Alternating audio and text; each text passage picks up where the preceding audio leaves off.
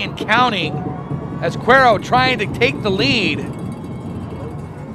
It's out again to Winnington. Winnington able to get a hold of that.